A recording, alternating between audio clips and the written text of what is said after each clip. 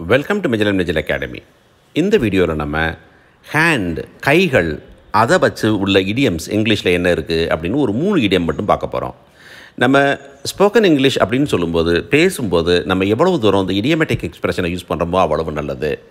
மொதல் விஷயம் மொதல் idiom on hand on hand அப்படின்னாக்கும் present available இருக்குது ரெடியாக இருக்குதா ரெடியாக இருக்குது அப்படின்னு சொல்கிறது தான் வந்துட்டு on hand I have all information on hand சரி ஒரு ப்ராது கொடுக்குறீங்க. கொடுக்கும்போது எல்லா இன்ஃபர்மேஷன் இருக்குது கணக்கு எல்லாம் இருக்குது. கையில் தயாராக ரெடியாக வச்சுருக்கிறேன். கையில் வச்சுருக்கிறேன்.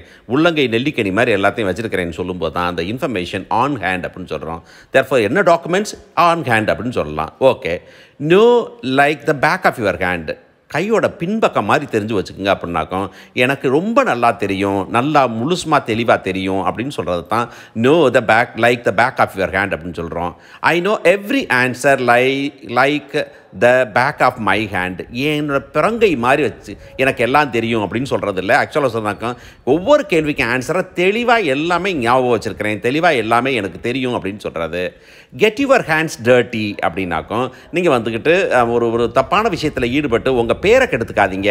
இந்த பேரை கெடுத்துக்காதீங்க அப்படிங்கிறது தான் யுவர் ஹேண்ட்ஸ் கெட் டர்ட்டி அப்படின்னு சொல்கிறோம் நம்ம.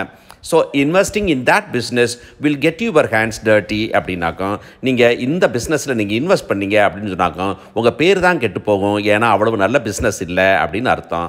தேர்ஃபார் இந்த மாதிரி சின்ன சின்ன விஷயங்களுக்கு உடனடியாக மெஜரன் அகாடமியை பாருங்கள் சப்ஸ்கிரைப் பண்ணுங்கள் தேங்க்யூ